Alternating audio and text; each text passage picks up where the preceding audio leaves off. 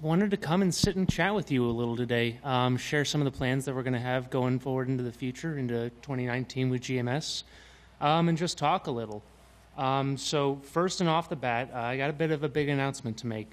Um, into the 2019 season and ending in the 2018 season, I will no longer be competing in the NASCAR Xfinity Series.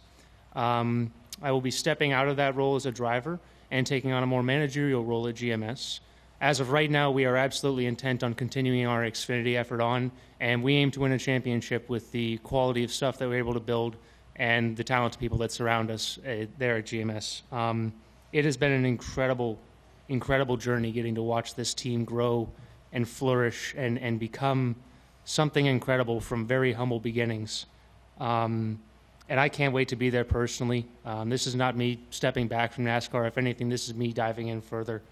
Um, but this is this has been a big decision. Uh, it's been something I've been thinking about for a long, long time. But you know, GMS started out uh, surrounded around Spencer Gallagher, but since then it has grown to be something so much more, and and something so much bigger. And I think it's time to take the next step um, and really see what this team can do. And I think to do that, my my greatest utility to GMS um, lies elsewhere than the driver's seat. I think there's a lot of really talented guys out there, and I think we have an incredible team. Um, but I want to, to see this team grow and flourish, and I think there's so much opportunity inside this industry, um, inside the sport we love, and I'm, I'm eager to go chase it. But I wanted to sit down and talk with you guys, um, announce that today.